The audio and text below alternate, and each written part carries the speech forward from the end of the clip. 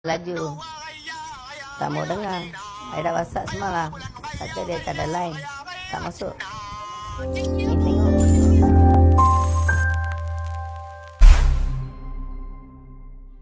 Sempena perayaan Tahun Baru Cina, had laju di Jalan Persekutuan di seluruh negara dikurangkan 10 km sejam bermula 8 sehingga 13 Februari 2024.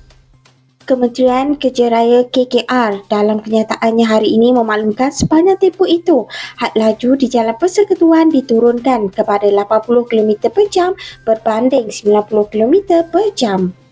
Kementerian itu memaklumkan pengurangan had laju sementara itu merupakan antara langkah keselamatan dan pemantauan diambil kerajaan bagi meningkatkan keselamatan serta mengurangkan risiko kemalangan jalan raya yang sering berlaku pada musim perayaan. Sementara itu, tular satu video memaparkan gelagat seorang anggota polis trafik berada di tepi jalan sedang menjalankan tugas menembak laju. Apa yang menariknya kedudukan anggota terbabit yang dikerumuni dengan patung harimau turut menjadi perhatian. Difahamkan penduduk sekitar sudah mengetahui lokasi itu merupakan tempat peniagaan patung harimau namun terkejut apabila terdapat anggota polis trafik turut berada di lokasi sama. Dalam rakaman tersebut, pemilik video turut menasihatkan orang ramai agar berhati-hati apabila melalui jalan terbabit. Keanggotaan di lapangan yang terlibat melebihi dalam 6,000. 6,000 daripada trafik sahaja seluruh Malaysia. Seluruh Malaysia.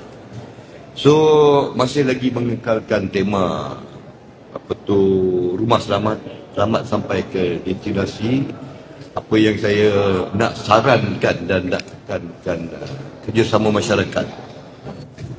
Mana-mana uh, anggota uh, penghuni-penghuni yang akan meninggalkan rumah supaya melaporkan uh, ketiadaan mereka sama ada di balai-balai mengisi borang atau yang lebih mudah zaman sekarang ini menggunakan volunteer smart uh, phone apa tu S, uh, VSP smartphone petrol. Itu hati-hati guys. Highway WC Sabah Benang pergi Setiawan ini Aida bagi tahu dah harimau-harimau ni semua.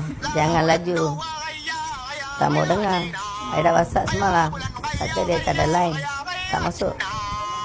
Ni tengok semua harimau kena tembak Jaga-jaga ya harimau putih tunggu ni. Raya Cina kan.